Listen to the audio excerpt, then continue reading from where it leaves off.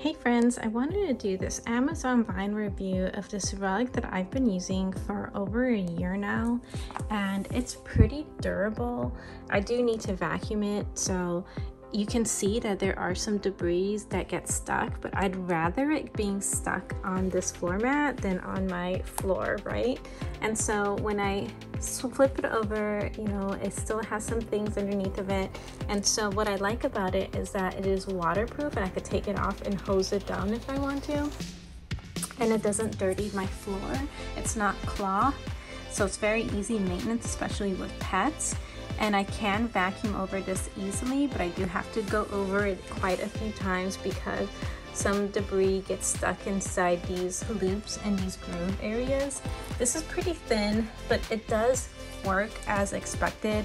I'm satisfied with the performance of it over a year of using it daily and the ease of cleaning it as well. I hope that this review was helpful and I will see you next time. Bye for now.